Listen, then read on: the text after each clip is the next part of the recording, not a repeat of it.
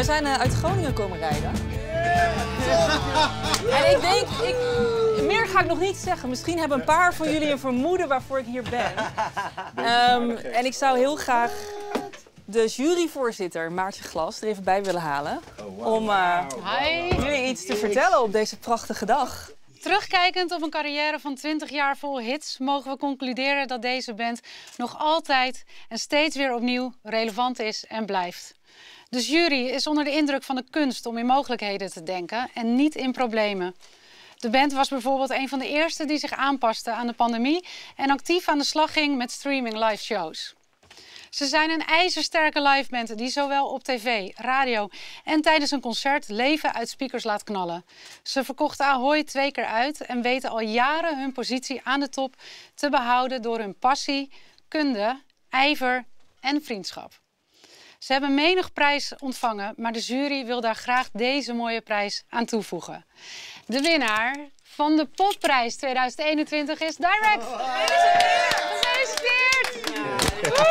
Ik zou zeggen, vervang die koffie even voor wat eh, bubbels. Ja, waar is de bierdouche? Dankjewel, dankjewel, dankjewel. Yes, dit is hem. Jezus, Mag van jou eh, Ja, dat mag zeker. Wauw. Dat Dit is hem. wel... eh, Dit is wel, eh, na, ja, na, wat je al net zei, heel mooi. eh, na ruim 20 Sick. jaar. Nou, hè? Hey.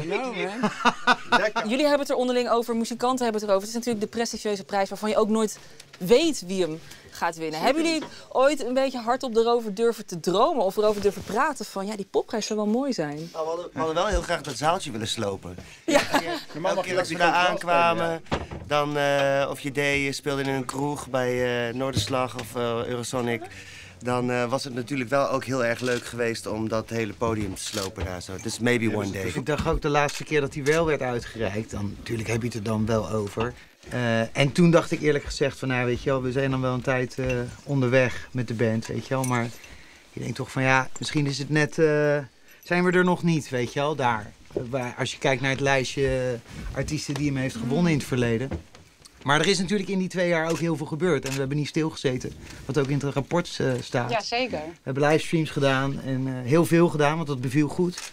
Om in tijden waarin niks kon, toch ja, dingen te blijven doen en te blijven spelen. We hebben een plaat opgenomen in lockdown, uitgebracht. Nou, Soldier On staat daar natuurlijk op. Dus eigenlijk heel gek komen we er bijna sterker uit dan dat we erin gingen. Ja. Terwijl we amper hebben kunnen spelen. Maar ja, met, met als hoogtepunt natuurlijk die twee Ahoy-shows. Ja. Dus dat is wel... Gekke tijden. En dan dit, joh. Gekke Ja, ik wil inderdaad in die grote zaal spelen, godverdomme. Met publiek, bier erbij. Wap. Nou, laten we voor nu gewoon dit even proosten op dit prachtige moment. Bas, als jij het nog redt met het Ja, ja, beeldje in de ja, andere ja, arm. Ja. Dat gaat goed. Dankjewel. Ik dacht nog, misschien staat Gaston voor de deur. of zo. Een soort van hetzelfde, toch?